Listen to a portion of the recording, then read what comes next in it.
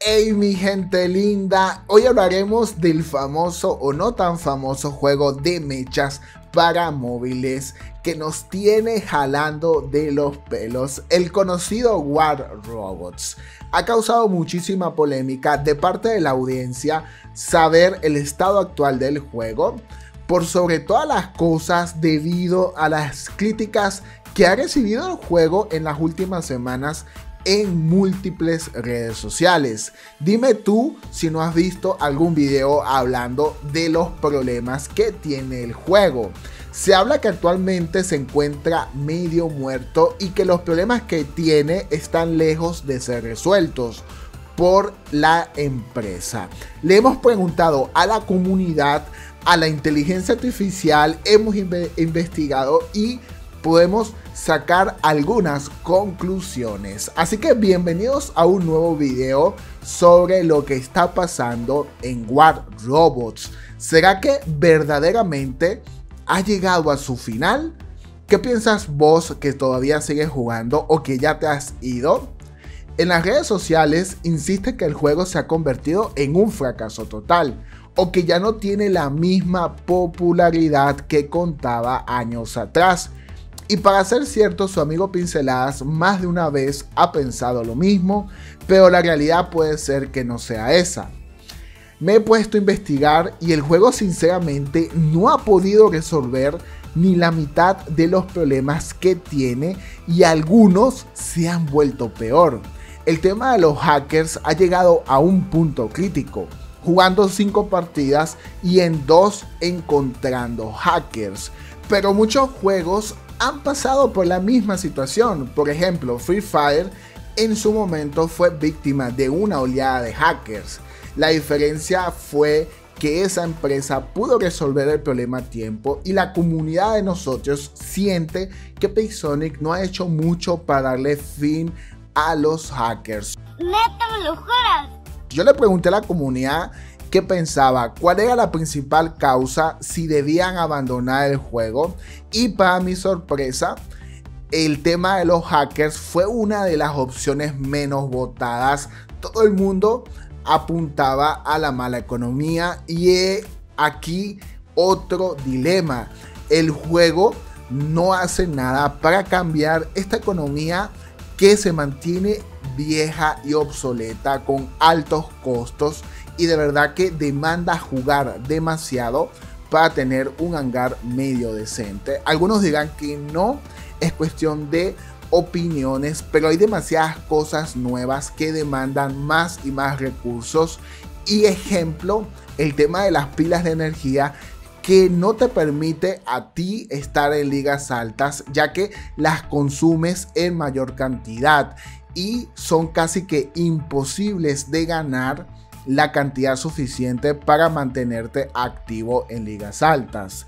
Pero, repasando un poco, este juego, a pesar de todos los problemas, es el juego de mechas para móviles que sería fácilmente considerado como el mejor. Yo he estado probando algunas alternativas y este sigue siendo por mucho la mejor opción.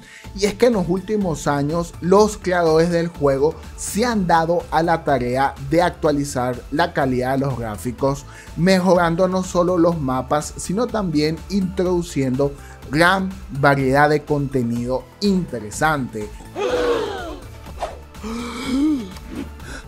Entonces, ¿por qué se insiste que el juego se está acabando? Pinceladas en lo personal piensa que ya no cuenta con la misma popularidad.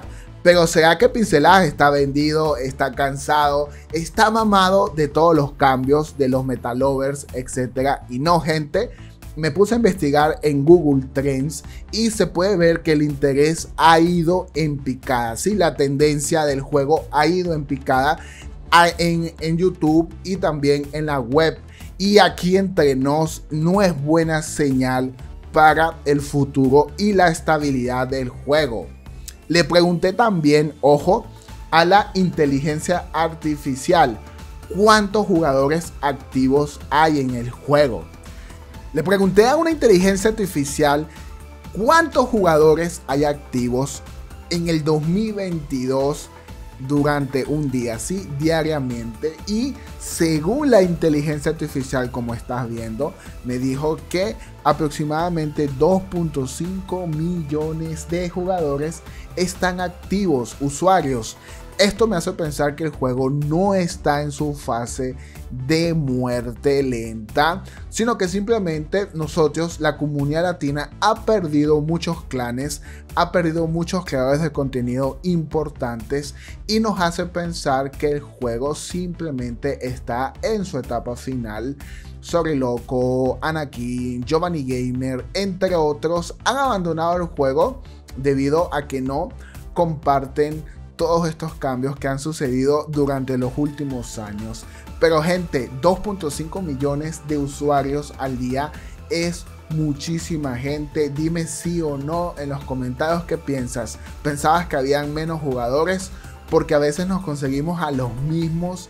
Pero yo creo que en campeón muchísima gente ha bajado de liga porque es injugable. Yo voy a mi destino y voy a ganar. Si tú eres un jugador nuevo, te va a costar mucho entender todas las mecánicas del juego. Y es algo que también es negativo porque espanta a los novatos, ya que cuenta con muchos robots, armas, pilotos, naves de soportes, niveles, costos, drones, microchips y etcétera, etcétera. Pero ojito, si vas a YouTube, Facebook o vas también a Discord, vas a poder encontrar que hay nuevos creadores de contenido, muchas nuevas comunidades y que muchísima gente real, como tú y como yo, sigue activa en este juego.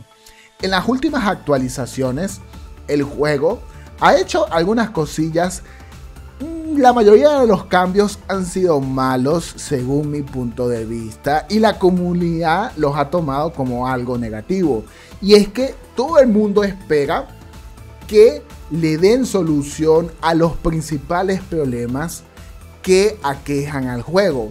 Por ejemplo, el tema de los que bajan de liga con cuentas súper avanzadas para tener ventaja de los novatos.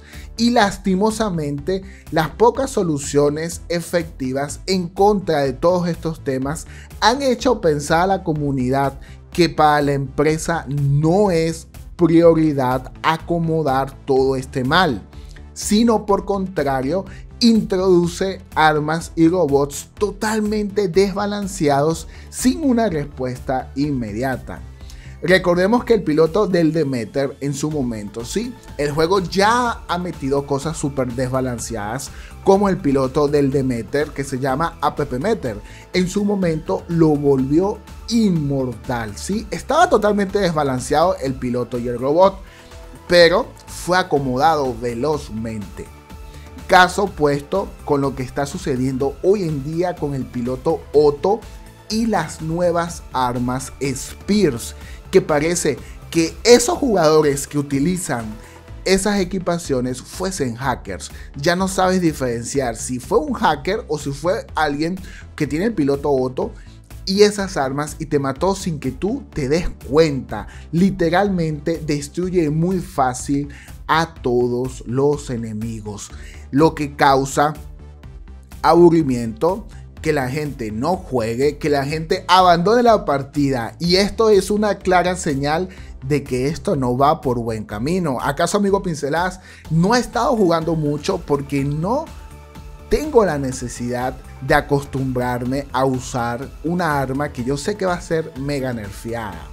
Hay que ser sinceros y entender que no es cuestión de adaptarse al nuevo contenido.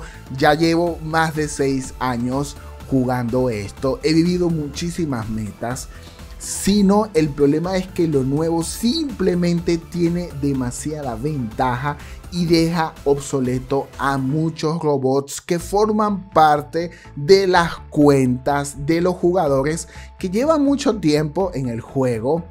¿Qué hacen estos jugadores? Simplemente optan por no jugar más, por molestarse y abandonar por completo al juego. ¿sí? Debido a la frustración que es normal sentir esa emoción cuando las cosas que tú amas cambian demasiado a un nivel que tú no puedes soportar o manejar. Para este 2023 yo pinceladas, tengo muchas expectativas positivas. Ojo, he leído por allí noticias de que posiblemente vienen acciones fuertes en contra de los hackers. Así que le doy 10 puntos al juego si en verdad va a aplicar algo en los próximos 3 meses. Quizás un nuevo sistema antitrampa necesite el juego, sí, o quizás necesita actualizar su mecánica. Y bueno, también por allí he leído que vienen algunas nuevas medidas para banear a los que bajan de liga. De verdad que este problema afecta muchísimo a la gente nueva que no entiende y dice, joder, pero que esta vaina que me mató en un instante. ¿Sí? Y bueno, sin duda alguna, mi preocupación principal, la más sincera, la que me llevó a hacer este video es la siguiente pregunta. ¿Cuántos jugadores, cuántos amigos, cuántos compañeros de clan vamos a seguir perdiendo mientras estas soluciones llegan definitivamente al juego? De verdad que me entristece ver que algo que yo he amado durante los últimos años vaya en picada y espero que este, este video te sirva como reflexión y lo tomes de esa forma, ¿sí? Se despide acaso amigo Pinceladas, acá Pince el Sensei. Se les quiere, bye bye.